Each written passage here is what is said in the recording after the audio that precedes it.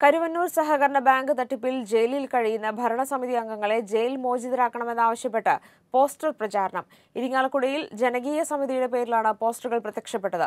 ഇതിനിടെ party office നിർമ്മാണ fund ശേഖരണത്തിന് ഡിവൈഎഫ്ഐ സംഘടിപ്പിച്ച പായസ വിൽപ്പനയ്ക്കെതിരെ സമൂഹമാധ്യമങ്ങളിൽ പ്രതിഷേധവുമുയർന്നു കൊള്ള നടത്തിയ യഥാർത്ഥ പ്രതികളെ ശിക്ഷിക്കുക നിരപരാധികളായ ഭരണസമിതി അംഗങ്ങളെ ജയിലിൽ നിന്ന് മോചിപ്പിക്കുക നിരപരാധികളെ ബലിയാടാക്കി അവരുടെ കുടുംബങ്ങളെ തകർക്കുന്ന നടപടിയിൽ നിന്ന് സർക്കാർ പിന്മാറുക തുടങ്ങിയവയാണ് പോസ്റ്ററിലെ ആവശ്യങ്ങൾ.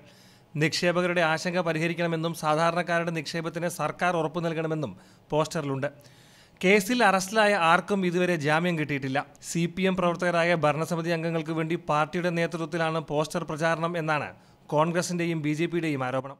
ആരും തന്നെ ഓ എല്ലാ കാര്യങ്ങളും ചെയ്യുമ്പോഴും തീരുമാനങ്ങൾ എടുക്കുമ്പോഴും ഒരു വിയോജന കുറിപ്പോ മറ്റു രീതിയിലുള്ള രേഖാമൂലമുള്ള ഒരു അറിയിപ്പും ആരും തന്നെ കൊടുത്തിട്ടില്ല. എല്ലാവരും പറയുന്നു ഞങ്ങൾ നിരപരാധികളാണ് ഞങ്ങൾ നിരപരാധികളാണ്. ഇരിങ്ങാലക്കുട കരുവന്നൂർ മേഖലകളിൽ ഡിവൈഎഫ്ഐ പൊതുജനങ്ങൾക്കായി സംഘടിപ്പിക്കുന്ന പല പരിപാടികളിലും വലിയ പ്രതിഷേധമാണ് നിക്ഷേപകർ ഉയർത്തുന്നത്.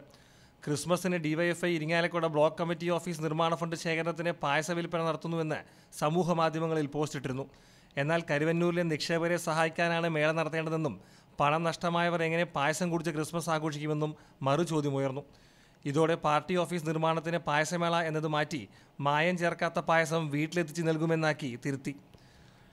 ഏഷ്യാനെറ്റ് ന്യൂസ് തൃശൂർ.